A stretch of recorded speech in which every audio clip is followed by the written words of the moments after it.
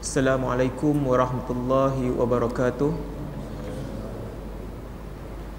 Innal hamdalillah nahmaduhu wa nasta'inuhu wa nastaghfiruh wa na'udzu billahi minasyururi anfusina wa min sayyiati a'malina. Man yahdihillahu fala mudhillalah wa may yudlilhu fala hadiyalah Ashhadu an la ilaha illallah wa ashhadu anna muhammadan abduhu wa rasuluh. Amma ba'd.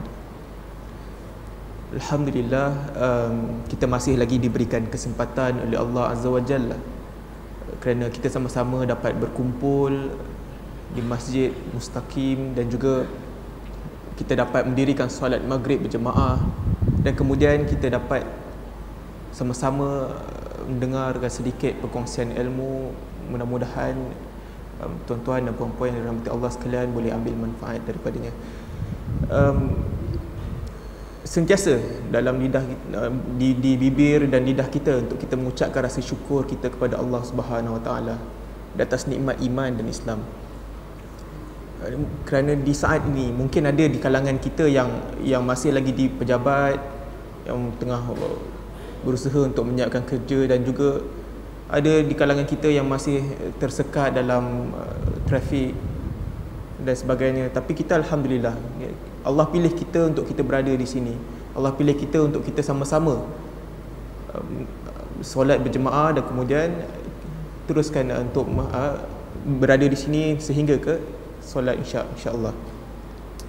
Jadi tuan-tuan dan puan-puan yang dirahmati Allah uh, saya difahamkan oleh um, saudara sahabat saya saudara Abu Talhah uh, tentang uh, ketiadaan sepatutnya malam ni Ustaz Ahmad Hashimi ya uh, memberikan kuliahnya. Tapi uh, saya difahamkan yang dia sedang berada di Indonesia atas beberapa urusan. Dan uh, Ustaz Ahmad Hashimi bukanlah uh, orang asing untuk saya. Dia merupakan uh, pensyarah saya ketika saya menuntut di Kias dahulu. Um, seorang yang alim tawaduk dan alhamdulillah warga Ampang beruntung uh, sebenarnya Uh, mempunyai uh, Ustaz Hashimi yang yang sepenuh masa ada di sini. Dan mudah-mudahan uh, tuan-tuan dan puan-puan boleh mengambil banyak manfaat dan dan ilmu daripada Ustaz Hashimi. Belakang tak dengar eh? oh okey.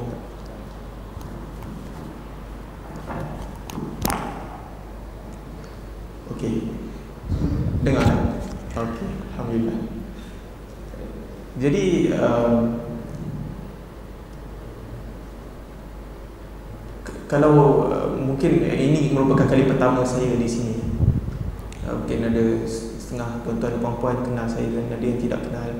Uh, nama saya Nur Sulaiman. Uh, berumur 27 tahun. Uh, beras, lahir di Kedah tapi bukan di Gunung Jerai lah. Di Kedah uh, tapi membesar dan dan bersekolah semua di sini. Uh, saya kemudian selepas uh, tadi saya ceritakan tentang uh, Musa Hashimi yang merupakan uh, guru saya pensyarah di di Kias Napoli kemudian saya melanjutkan pelajaran di Universiti Alun Baik Jordan dan uh, alhamdulillah um, bulan 12 tahun 12 baru ni baru menghabiskan uh, master saya di UK dalam MBA Islamic Banking dan Finance. Sedikitlah perkongsian uh, latar belakang. Uh, jadi berbalik kepada tajuk yang diberikan kepada saya tentang bagaimana salafus salih dia menjaga ataupun dia menjauhi diri mereka daripada bid'ah dan maksiat. Mungkin tuan-tuan dan puan-puan sebahagian besar ini maklum tentang apa itu bid'ah tapi mungkin ada di kalangan kita juga yang tak tahu apa tu bid'ah. Bid'ah ni eh, satu dia bukanlah perkara yang asing dia, dia dah daripada zaman Nabi lagi. Perkara ni dah disebut tetapi um, kata mutakhir ini benda ni dah jadikan uh, maknanya orang ramai dah dah sedia maklum dah dah faham dah mula-mula dah sikit-sikit dah faham tentang apa itu bid'ah dan sebagainya. Jadi buat yang belum faham ataupun yang tak tahu apa itu bid'ah. Kata Imam Syatibi rahimahullah taala Imam Syatibi dia kata bid'ah ini adalah rekaan dalam agama yang menyerupai syarak bertujuan untuk berlebih-lebihan dalam agama jadi um, secara asasnya kita tahu bahawa bid'ah ini adalah apa-apa yang berurusan dengan dunia. Eh, uh, maafkan saya berurusan dengan agama. Dia tidak ada kaitan dengan urusan dunia. Maknanya bila kita kata bid'ah ataupun uh, tentang amalan bid'ah itu sendiri skopnya hanya dari sudut agama saja. Okey. Sebab dia bertepatan dengan sabda Nabi sallallahu alaihi wasallam man ahdatsa fi dinina hadza ma laysa minhu fahuwa raddun Barang siapa yang mengadakan dalam agama kami Iaitu dalam urusan agama kami Perkara yang tak ada perintah Maka perkara itu tertolak Jadi Atas kita faham Islam ini turun Allah hantar setiap Maknanya Allah hantar Nabi kepada kita Untuk menerangkan Untuk memberitahu tentang Tentang apa itu Islam tentang bagaimana Islam itu sendiri. Okey, jadi itu dari sudut amalannya. Tetapi bagaimana pula maksiat? Sebab kita kena faham bila kita katakan bagaimana salafus salih menjauhi diri daripada bid'ah dan maksiat. Bid'ah dan maksiat dia merupakan dua perkara yang berbeza tetapi dia mempunyai kaitan. Maksiat ni kita ertikan sebagai apa-apa perkara yang kita langgar, maknanya perintah Allah kita melanggarnya dan apa yang Allah larang uh, apa yang Allah larang kita buat jadi maknanya apa yang Allah larang kita buat dan apa yang Allah suruh kita tak buat. Secara, itu secara secara ringkas tentang maksiat. Dan maksiat maksiat ni dia dia kategorinya besar. Kalau kita katakan bid'ah tadi dalam urusan amalan agama tetapi maksiat tu dia beri melingkupi luas. Urusan agama, urusan dunia. Jadi bila kita kata bid'ah, ia termasuk di dalam maksiat. Tetapi maksiat tidak termasuk dalam bid'ah. Faham beza dia? Kita kena jelas. Jadi kalau um, kita katakan okey orang orang akan kata apa beza macam tu apa beza bid'ah dan maksiat? Kalau maksiat ada dalam uh, kalau bid'ah dalam maksiat tapi maksiat tak ada dalam bid'ah jadi apa beza dia bezanya maksiat ni dia tidak maknanya maksiat dia ada hukum had. Dia ada hudud. Pada dalam maksiat seperti zina seperti mencuri seperti uh, kita buat uh, perkara yang mungkar. Adanya hukum had. Tetapi bid'ah dia tak ada. Dia tak ada hukuman had. Dia amalan dia seperti maknanya amalan yang tertolak. Dan begitu juga yang keduanya orang buat maksiat ni dia tahu dia salah dengan Tuhan. Itu beza dia. Orang buat bid'ah dia tak tahu beza maknanya dia tak tahu yang dia tengah buat salah dengan Tuhan. Dia ingat dia tengah buat baik. Dia, dia ingat apa yang dia lakukan itu adalah perkara yang baik. Tetapi orang buat maksiat dia tahu bila dia buat salah dia balik dia istighfar dia mohon ampun dia solat taubat dan sebagainya. Tapi orang yang melakukan bid'ah dia, tidak ada. Sebab dia merasakan apa yang dia buat itu dah cukup baik. Memang dia sengaja buat untuk untuk dia merasakan itulah cara dia untuk dia takarub ila Allah untuk dia mendekatkan diri dia kepada Allah. Okey. Dan yang ketiganya perbezaan antara bid'ah dan maksiat adalah bid'ah ni dia buat di atas dorongan dia merasakan uh, niat dia yang baik itu. Di atas amalan tu. Tetapi kalau maksiat biasanya orang melakukan maksiat ini di atas sebab syahwat. Di atas nafsu dia di atas uh, syahwat jadi itu perbezaan di antara sedikitlah perbezaan di antara bid'ah dan maksiat. Banyak lagi kita boleh sebutkan jadi tuan-tuan dan puan-puan yang saya ini Allah sekalian. Seperti kita maklum. Allah utuskan Nabi sallallahu alaihi wasallam kepada kita supaya dia dapat menyampaikan risalah. Supaya Nabi datang untuk beritahu kepada kita macam mana nak mentauhidkan Allah.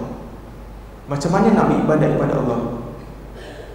Bagaimana Allah pandang amalan itu adakah amalan itu baik ataupun tidak Nabi datang untuk bagikan panduan itu kepada kita jadi ini ini adalah tugas Nabi daripada zaman berzaman sejak dahulu ya. Dan sebab itu Allah Subhanahu Wa Taala berfirman dalam ayat ini walaqad ba'athna fi kulli ummatin rasulan an ya'budullaha wajtanibut taghut. Dan kami utuskan ya, pada setiap kaum itu pada setiap umat itu ada nabi dan rasul untuk bagi tahu macam mana macam mana nak mentauhidkan Allah macam mana nak sembah Allah dan menjauhi segala larangan-larangan itu. Ha. jadi itu tugas Rasul. Jadi bila Nabi datang bila Rasul datang kepada kita dia nak dia nak kita ikut dia. Sebab boleh bayangkan okay, kita bayangkan hari ini kalau kita di sekolah kan kita di sekolah cikgu uh, cikgu matematik masuk kelas dia bagi buku pada kita. Dan kemudian dia, dia kata okey buatlah sendiri. Pening kita nak jawab. Kita pun akan rasa mungkin kita boleh jawab tapi mungkin jawapan kita berbeza daripada kawan-kawan kita yang lain mungkin kiraan kita salah dan sebagainya. Tapi tapi cik guru dia akan bagi panduan oh macam ni kiranya. Apakah formula yang tepat? Macam mana nak jawab dengan baik? Itu. Jadi Nabi datang untuk memberitahu kepada kita yang macam inilah yang Allah nak. Amalannya macam ini. Bahkan kalau kita perhatikan sebelum kedatangan Nabi dan Rasul ataupun sebelum kedatangan Nabi Muhammad sallallahu alaihi wasallam. Kaum uh, musyrikin di Mekah adakah mereka tidak melakukan ibadat? Mereka melakukan ibadat. Perkara seperti haji itu bukanlah perkara yang baru di dalam Islam. Bahkan telah dilakukan oleh orang yang terdahulu. Tapi Nabi datang untuk sempurnakan macam ini yang sebenarnya. Jadi itu. Kita uh, jadi benda ini kita kena jelas supaya kita nampak betapa fungsi Nabi sallallahu alaihi wasallam kepada kita semua. Supaya bila kita buat sesuatu perkara kita tidak merasakan bahawa aku nak buat lebih. Aku nak buat dia sebahagian um, orang-orang dia bukannya dia tahu perkara itu tidak ada dalam nas tidak ada dalam dalil. Tapi dia merasakan mungkin perkara itu baik. Dia merasakan mungkin perkara itu boleh tambahkan pahala dia dengan mengharapkan eh, dengan amalan yang dia buat tu.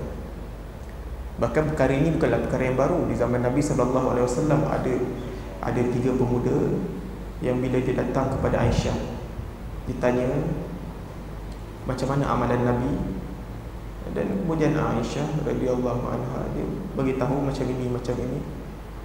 Dan kemudian dia merasakan Oh uh, Tak cukup. Jadi aku dia, Salah seorang ni kata Aku nak puasa setiap hari. Dan orang yang kedua kata aku nak berjaga setiap malam. Aku nak solatul lain setiap malam. Dan yang ketiga dia kata aku tak nak berkahwin jadi bila Nabi tahu perkara ini Nabi kata aku juga aku manusia aku rasul tapi aku juga berkahwin aku juga berpuasa dan aku juga berbuka dan aku juga berehat seperti manusia biasa. Dan bila kita melakukan perkara-perkara yang yang kita lebih daripada maknanya apa yang tidak ada dalam suruhan agama ianya secara tidak langsung dia memberikan gambaran bahawa Nabi gagal menyampaikan risalah dia dengan baik ada lagi maknanya seolah-olah macam ada lagi perkara yang Nabi tertinggal ataupun ada yang Nabi terlupa untuk Nabi bagi tahu kat kita. jadi itu adalah satu mesej yang tidak baik sebenarnya kerana kita tahu hakikat beragama ini ini bukan yang boleh di, ditambah ataupun ditolak. Seperti mana agama ini kita tidak boleh tidak boleh menambah-nambah begitu juga agama ini kita tidak boleh berkurang-kurangkan kita tidak boleh solat isyak tiga rakaat tak boleh. Ataupun kita rasa nak lebih baik sikit solat empat rakaat isyak tak cukup kita nak buat lima tak boleh. Fix. Subuh dua rakaat, zuhur dua rakaat, empat rakaat, asar empat rakaat. Fix, itu semua fix. Dalam agama semua fix. Perkara yang berkaitan dengan ibadat. Jadi kedua-duanya kita jelas maknanya kedua-duanya antara antara bid'ah dan maksiat. Kedua-duanya adalah perkara yang yang dikeji. Dan dan perkara dua perkara yang berbeza namun mempunyai kaitan yang sama ha, mereka mempunyai kaitan jadi bagaimana sikap salafus salih dalam menjauhi bid'ah dan maksiat ni pertama sekali pertama sekali adalah niat yang ikhlas. Sebab itu Nabi SAW adalah hadis yang inna ma'amalu bin niat. Maknanya setiap perkara bila kita nak buat mesti kita ada niat. Niat yang niat dan kemudian ikhlas. Illa liya'budullaha mukhlishina lahuddin kan jadi maknanya kena ikhlas dengan apa yang kita buat tu. Kerana Allah. Bukan kerana mengharapkan manusia kerana, ataupun uh, mengharapkan ganjaran dan sebagainya. Tidak. Apa yang kita buat adalah mengharapkan redha Allah. Kita semua hidup di atas muka bumi ini kita tahu hakikat kita kita hidup sementara. Kita tak tahu bila kita akan mati bila ajar kita. Jadi apa yang kita nak buat kita nak tambah amal kita jadi macam mana kita nak tambah amal kita? Yang keduanya adalah mestilah mengikut amalan yang yang yang bertepatan dengan kehendak syarak.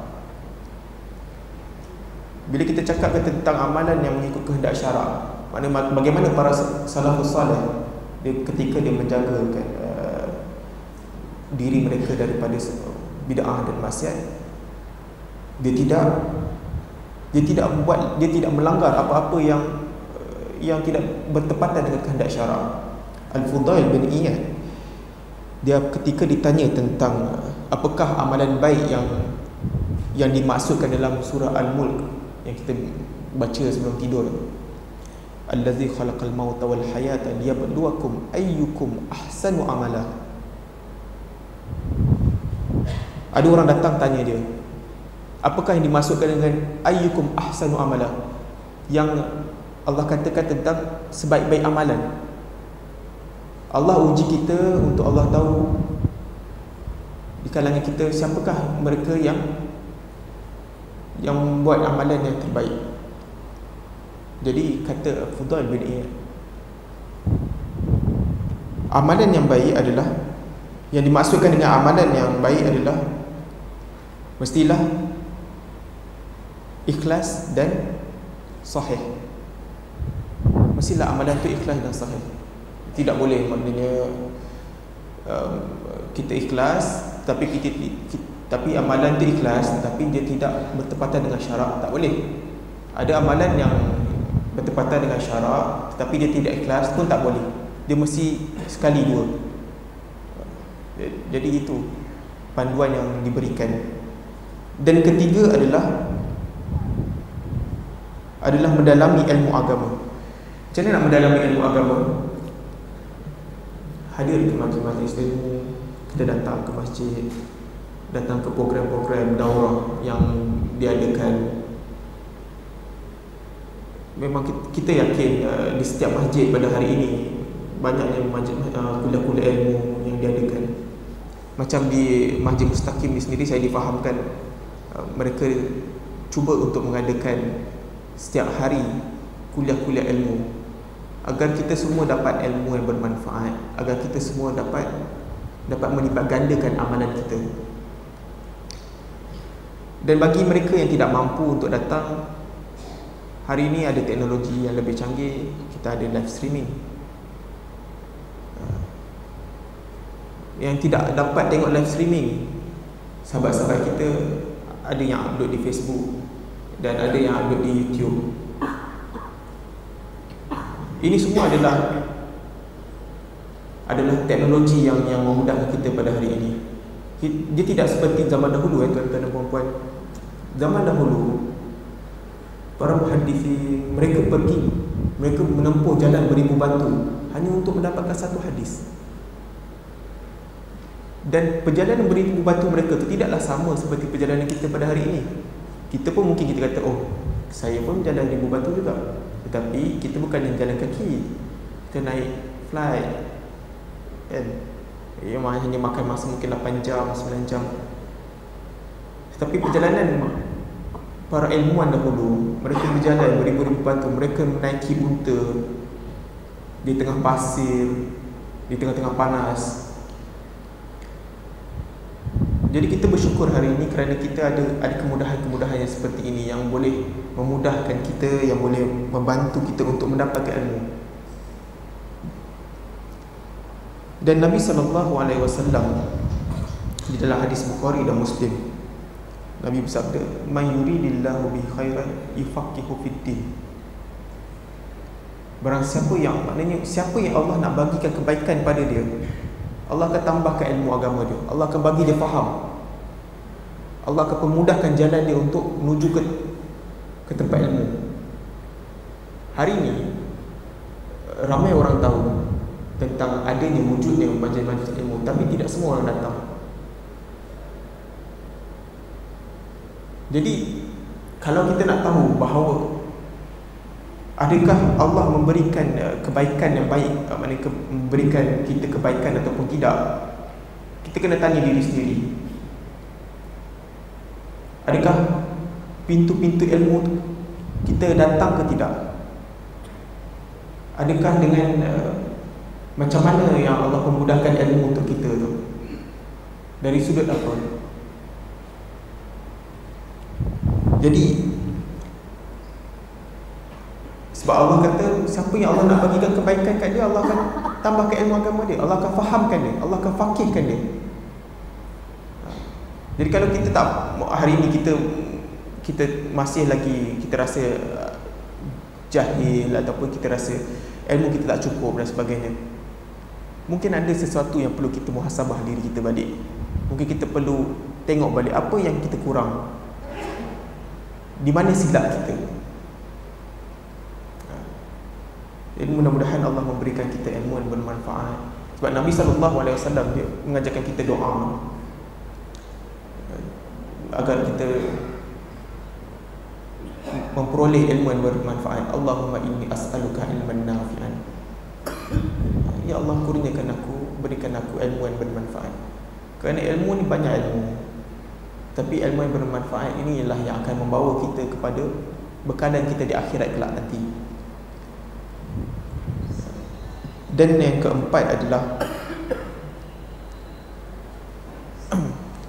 untuk mengetahui ataupun untuk kita menjauhi perkara-perkara bid'ah dan maksiat ni adalah untuk dengan cara kita membelajar. Kita mempelajari apa yang yang menyanggahi syariat itu sendiri. Maksudnya macam ini. Dalam agama kita ada tiga teras. Kita ada Tauhid. Tauhid lawannya syirik Sunnah lawannya bid'ah Ta'at lawannya adalah maksiat. Jadi untuk kita mengetahui Apakah yang Yang boleh menjerumuskan kita Ke lembah bid'ah dan maksiat ni Kita kena belajar lah Tentang bid'ah dan maksiat ni sendiri. Bukanlah kita buat Maksudnya kita belajar. Kita tahu oh perkara ini maksiat oh perkara ini adalah perkara-perkara bid'ah. Itu cara maksudnya. Sebab uh, sahabat Nabi sallallahu alaihi wasallam yang bernama Huzaifah ibnu Yaman radhiyallahu anhu. Yang juga merupakan uh, pemegang rahsia Nabi sallallahu alaihi wasallam. Dia katakan dahulunya aku sering bertanya ke, uh, dahulunya orang yang sering datang bertanya kepada Nabi mereka ni sering tanya tentang perkara-perkara yang kebaikan perkara-perkara yang boleh membuatkan mereka melakukan amal baik. Tetapi aku aku sering bertanyakan kepada Nabi tentang perkara-perkara yang yang keburukan. Perkara-perkara yang boleh mendatangkan murka Allah. Kerana apa? kerana aku takut perkara-perkara itulah yang akan menimpa aku kata Huzaifah bin Yaman. Jadi untuk kita memahami untuk kita menjauhi bid'ah dan maksiat kita kena belajar tentang apa itu bid'ah apa itu maksiat. Kerana bid'ah dan maksiat ni dia adalah sebahagian daripada Islam. Ha, yang untuk kita tahu yang untuk kita sama-sama untuk kita jauhkan diri kita daripada dua perkara ni. Dan yang yang kelima adalah kita banyakkan doa kepada Allah Subhanahu Wa Taala agar kita diberikan istiqamah untuk kita terus berada di atas jalan tauhid dan berada di atas jalan sunnah. Kita hari ini kita mungkin eh, kita rasakan eh, doa ni mungkin kurang. Dia tidak mampu memberikan. Tidak tak. Doa ni adalah satu perkara yang ajaib satu perkara yang yang kita tak tahu, yang kita tak nampak tapi kita merasakan hadirnya doa tu. Dan doa Allah Subhanahu Wa Taala dah ajar dah kepada kita. Dalam surah Al surah Al-Imran Rabbana la tuzigh qulubana ba'da idh hadaytana wa hab lana min ladunka rahmah innaka antal wahhab. Wahai Tuhan kami, janganlah kau condongkan hati-hati kami setelah kau beri hidayah kepada kami. Doa. Allah ajar kepada kita. Nabi juga ajar kepada kita doa. Ya muqallibal qulub Thabit qalbi ala dinik. Wahai Tuhan yang membolak balikkan hati Tetapkanlah hati kami di atas Jalan agama Kerana agama, jalan agama ini jalan untuk kita menuju ke syurga bukanlah jalan yang yang penuh dengan uh, haruman yang penuh dengan wangi-wangian tidak. Jalan yang penuh dengan belik, beliku. Kita melalui jalan yang susah. Hari ini untuk kita melakukan sunnah pada hari ini pun tidak bukanlah satu perkara yang senang. Semua orang cakap untuk dia apa mengikut sunnah. Semua orang nak kata dia sayang nabi dia cinta rasul. Tetapi adakah semua orang mengikuti jalan yang nabi suruh? Dan ada di kalangan kita juga yang yang Allah cenderungkan hati mereka kepada kepada perkara-perkara yang tidak baik Mudah-mudahan Allah kita mudah-mudahan Allah lindungi kita daripada perkara-perkara yang seperti ini. Kerana kita kita tidak mahu terutama bila kita mati nanti dalam keadaan yang melakukan maksiat. Sebab itu doa doa banyak-banyak. Kita bangun tengah malam merintih. Selain daripada kita uh, menceritakan ataupun kita merintih segala masalah kita tentang susahnya hidup kita ni. Kita doa jangan lupa untuk kita doakan agar kita diberikan iman yang teguh. Agar kita diberikan istiqamah istiqamah ni satu perkara yang susah. Kerana sebab itu iman ni dia sifat dia adalah naik dan turun. Dia tidak fix. Kita bukan malaikat Iman ni naik dan turun Jadi untuk kita memperoleh iman Yang sentiasa yang berada di atas Landasan yang Yang baik Kita banyakkan doa lah. Dan yang terakhir Yang saya boleh kongsikan Dengan tuan-tuan dan puan-puan Adalah kita bergaul bagaimana untuk kita uh, menjauhi bid'ah dan maksiat ni adalah dengan cara kita bergaul dan mencari teman-teman yang baik. Tapi dalam kita mencari ataupun kita dalam kita bergaul dengan kawan-kawan kita yang baik, sahabat-sahabat kita yang baik, janganlah sampai kita meninggalkan sahabat-sahabat kita yang yang uh, kurang baik tadi. Kita pun dahulu kita pun dahulu hidup di atas Maknanya kita pun dahulu ini bukanlah baik. Tetapi kemudian Allah pilih kita Allah campakkan hidayah ke hati kita Kemudian kita jadi baik. Tapi bila kita dah jadi baik Janganlah kita meninggalkan orang-orang yang Yang, yang sahabat-sahabat kita yang belum jadi baik lagi Doakan mereka. Sahabat dengan mereka Kita beri hidayah uh, Beri uh, bimbingan kepada mereka. Jalankan tugas dakwah tu Mudah-mudahan Allah campakkan juga hidayah kepada mereka. Macam kita hari ini kita bersama-sama di masjid. Mungkin ada di kalangan kita yang tidak suka datang ke masjid Ataupun kurang datang ke masjid. Janganlah sampai kita memusuhi mereka Tak nak bertegur Jumpa selisih di apa di taman rumah kita masa muka. Tidak. Itu bukan akhlak yang Nabi ajar. Nabi ajar kepada kita adalah untuk untuk ada rasa rahmah tu. Untuk kita memberikan uh, dakwah itu kepada orang-orang lain supaya kita tidak merasakan bahawa syurga itu hanya milik kita. Tidak. Bahkan syurga Allah itu luas. Milik kita dan juga milik orang lain.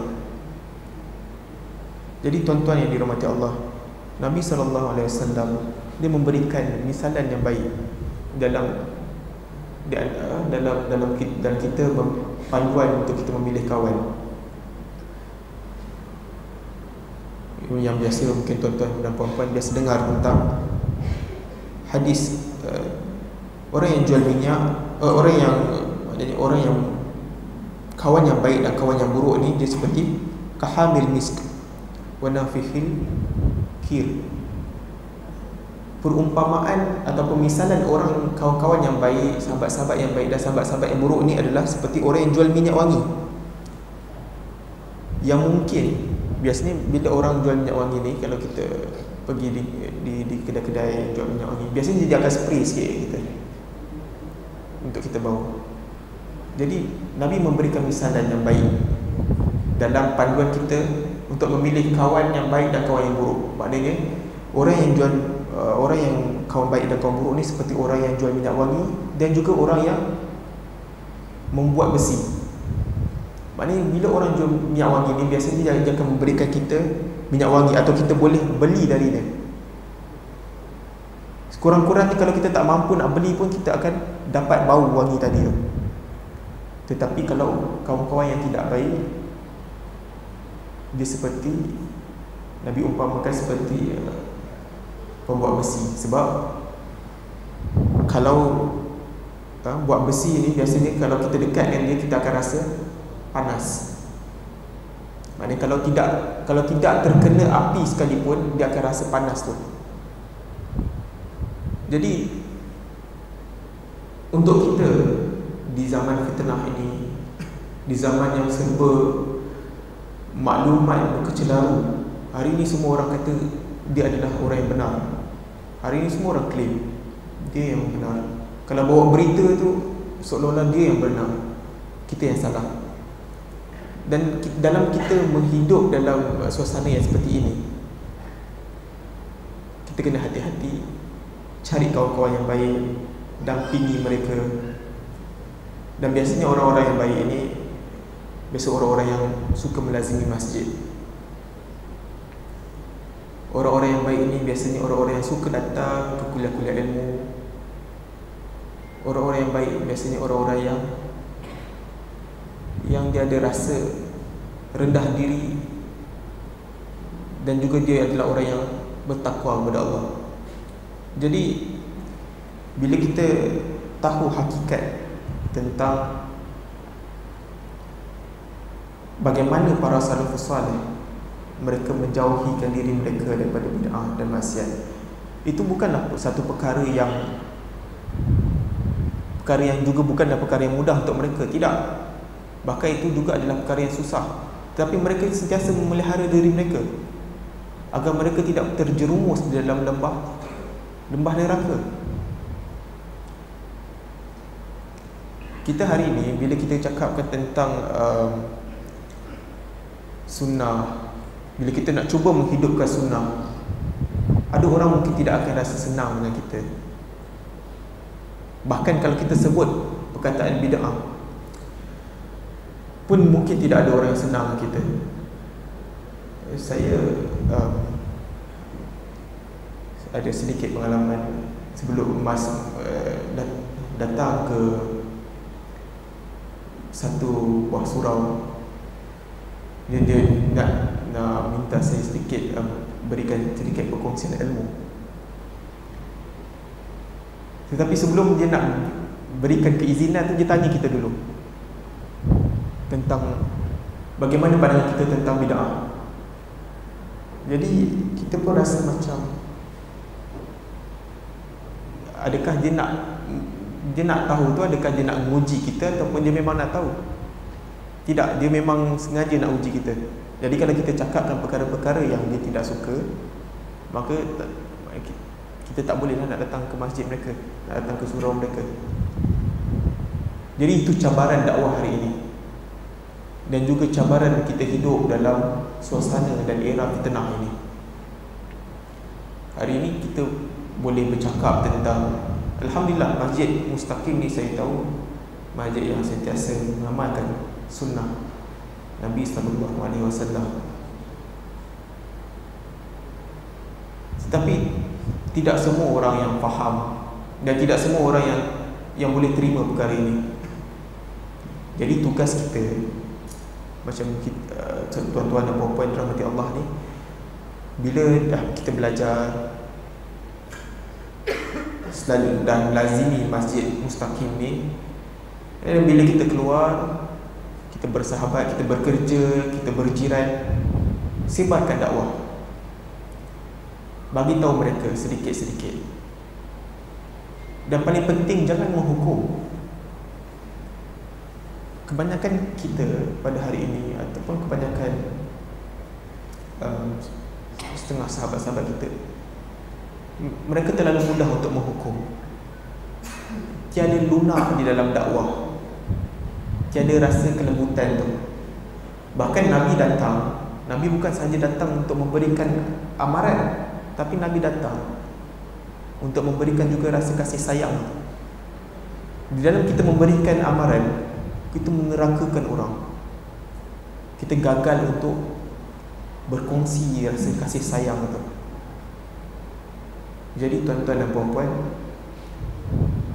Kita mohon agar Kita dapat uh, Sama-sama Menjalankan Sunnah Nabi SAW Dan mudah-mudahan kita ikut Kita sentiasa ikut Taat Perintah Nabi uh, Perintah Nabi dan uh, Perintah Allah dan juga perintah Nabi SAW Dan akhirnya kita sentiasa berdoa agar kita dikumpulkan kembali di syurga bersama-sama dengan orang yang beriman. Mudah-mudahan Allah mengampunkan kita dan juga mengganjari kita syurga yang paling tinggi. Jadi waktu insya Allah sudah tiba. Apa yang baik itu datang daripada Allah Subhanahu Wa Taala, yang lemah itu datang daripada saya sekiranya ada yang saya terkasar bahasa ataupun ataupun uh, tidak dapat menyampaikan dengan baik itu adalah kelemahan saya. Dan uh, sallallahu alaihi wa ala alihi wa sahbihi wasallam walhamdulillahirabbil alamin